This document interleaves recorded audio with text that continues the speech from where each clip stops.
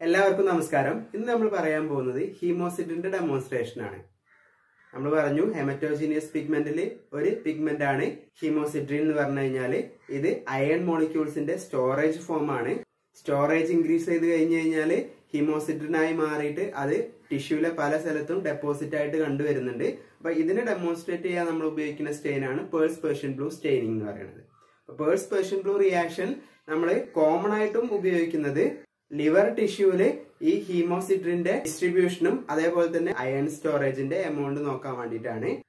അതുപോലെ തന്നെ purse പെഷൻ blue ഉപയോഗിച്ച് കഴിഞ്ഞ് കഴിഞ്ഞാൽ ബോൺമാരോ സ്റ്റഡീസിൽ ബോൺമാരോയിലുള്ള അയൺ സ്റ്റോറേജിന്റെ എമൗണ്ട് നമുക്ക് നോക്കാം. അത് നമുക്ക് ഓവറായിട്ട് അയൺ സ്റ്റോറേജ് ഉണ്ടോ അതേപോലെ തന്നെ അയൺ ഡെഫിഷ്യൻസി അനീമിയ ഉണ്ടോ എന്നൊക്കെ ഡിഫറൻഷിയേറ്റ് ചെയ്യാൻ വേണ്ടിയിട്ട് സഹായിക്കും.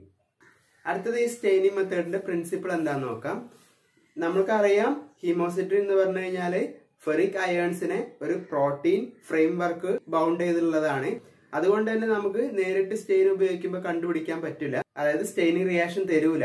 അത് കാരണം തന്നെ നമ്മൾ ഈ പ്രോട്ടീൻ ഫ്രെയിം വർക്കിൽ നിന്ന് ഫെറിക് അയേൺസിനെ അൺമാസ്ക് ചെയ്യേണ്ടതായിട്ടുണ്ട്. നമ്മൾ ഈ സ്റ്റെയിനിങ്ങിൽ യൂസ് ചെയ്യുന്ന റിയേജന്റ് അസിഡിക് പൊട്ടാസ്യം ഫെറോസൈനൈഡ് ആണ്. അസിഡിക് പൊട്ടാസ്യം ഫെറോസൈനൈഡ് പറഞ്ഞു കഴിഞ്ഞാൽ ഡയലൂട്ടഡ് ഹൈഡ്രോക്ലോറിക് ആസിഡും പൊട്ടാസ്യം ഫെറോസൈനൈഡും കൂടി ചേർന്നിട്ടുള്ള ഒരു മിക്സ്ചർ ആണ്. ഈ ഒരു റിയേജന്റ് ഉപയോഗിക്കുമ്പോൾ ടിഷ്യൂവിലുള്ള ഹീമോസിഡ്രിനെ ഈ ഡയലൂട്ടഡ് ഹൈഡ്രോക്ലോറിക് ആസിഡ് റിയാക്ട് ചെയ്തിട്ട് അതിലുള്ള പ്രോട്ടീൻസ് ഒക്കെ കളഞ്ഞിട്ട് അവിടെ നമുക്ക് ഫെറിക് അയോൺസിനെ അൺമാസ്ക് ചെയ്യും. ഈ ഫെറിക് അയോൺസ് ഫെറിക് ഹൈഡ്രോക്സൈഡ് ആയിട്ട് മാറുകയാണ് ചെയ്യുക. അങ്ങനെ നമുക്ക് അൺമാസ്ക് ചെയ്ത് കിട്ടും. ഈ അൺമാസ്ക് ചെയ്തിട്ടുള്ള ഫെറിക് അയൺസിനെ പൊട്ടാസ്യം ഫെറോസൈനൈഡ് റിയാക്ട് ചെയ്യും. അങ്ങനെ പൊട്ടാസ്യം ഫെറോസൈനൈഡ് റിയാക്ട് ചെയ്യുമ്പോൾ ഫെറിക് ഫെറോസൈനൈഡ് പറഞ്ഞ കമ്പണന്റ് ഉണ്ടാവും. ഇത് ഇൻസോലബിൾ ആയിട്ടുള്ള ഒരു കമ്പണന്റ് ആണ്. ഇതിനെയാണ് പേർഷ്യൻ ബ്ലൂ എന്ന് പറയുന്നത്. അപ്പൊ ഇതാണ് ഇതിന്റെ പ്രിൻസിപ്പിൾ ഇനി ഈ സ്റ്റെയിനിങ് ഉപയോഗിക്കുന്ന സമയത്ത് ടിഷ്യൂ സെക്ഷനെ ഫിക്സ് ചെയ്യുന്നതിൽ ചില നിയന്ത്രണങ്ങളൊക്കെ ഉണ്ട്. ഫിക്സേറ്റീവ്സ് ആയിട്ട് ആസിഡ് ഫിക്സേറ്റീവ്സ് ഉപയോഗിക്കാൻ പാടില്ല. ഈ അയണിന്റെ പ്രിസർവേഷനെ ക്രോമേറ്റ് പ്രിസർവേറ്റീവ്സും ഇന്റർഫിയർ ചെയ്യുന്നതാണ്.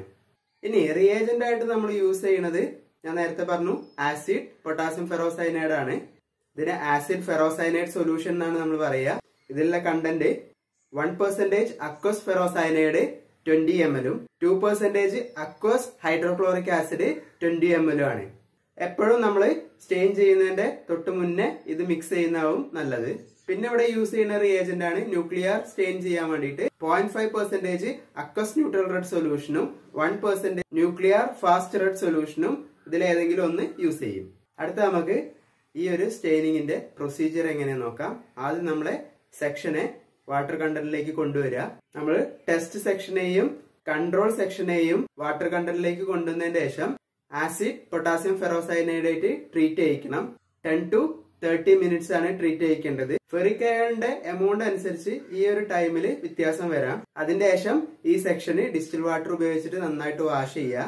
ദെൻ ന്യൂക്ലിയർ സ്റ്റെയിൻ ആയിട്ടുള്ള point five percentage aqueous neutral red സൊല്യൂഷനോ അല്ലെങ്കിൽ ന്യൂക്ലിയർ ഫാസ്റ്റ് റെഡ് സൊല്യൂഷനോ ഉപയോഗിച്ചിട്ട് സ്റ്റെയിൻ ചെയ്യുക.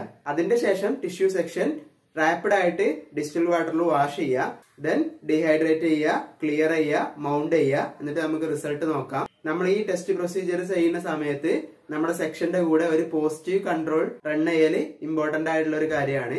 യൂഷ്വലായിട്ട് നമ്മൾ യൂസ് ചെയ്യുന്ന കൺട്രോൾ എന്ന് പറയുന്നത് പോസ്റ്റ്മോർട്ടം ലങ് ടിഷ്യൂ ആണ്. റിസൾട്ട് നോക്കുന്ന സമയത്ത് ഫെറിക് അയാണ് ബ്ലൂ കളറിലായിട്ട് കാണാം അതായത് പേർഷ്യൻ ബ്ലൂ കളറിലായിട്ടും കാണും. അതുപോലെ തന്നെ ന്യൂക്ലിയസ് റെഡ് കളറായിട്ടുമാണ് കാണുക. അപ്പൊ ഇതാണ് പേഴ്സ് പേർഷ്യൻ ബ്ലൂ റിയാക്ഷൻ എന്ന് പറയുന്നത്. ഇതിന്റെ യൂസേജ് ഹീമോസിഡ്രിന്റെ ഡെമോൺസ്ട്രേഷൻ അല്ലെങ്കിൽ അയൺ സ്റ്റോറേജിന്റെ ഡെമോൺസ്ട്രേഷന് വേണ്ടിയിട്ടാണ്. അപ്പൊ അടുത്തൊരു ടെക്നിക്കുമായിട്ട് അടുത്ത വീഡിയോയിൽ കാണാം. അതുവരെ ഗുഡ് ബൈ